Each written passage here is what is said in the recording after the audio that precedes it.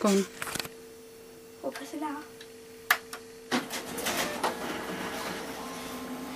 Katie hard at work in the photocopying department.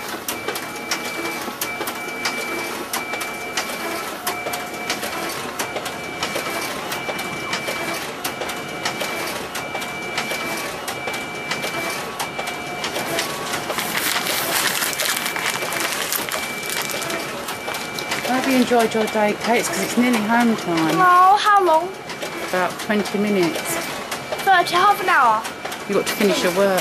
Half an hour, half an hour. Please, half Who an wants hour. to stay at work longer than they, they have to? Yes, this is hard work. Katie hard at work and doesn't want to leave. She's Right, sad. I've got a lot.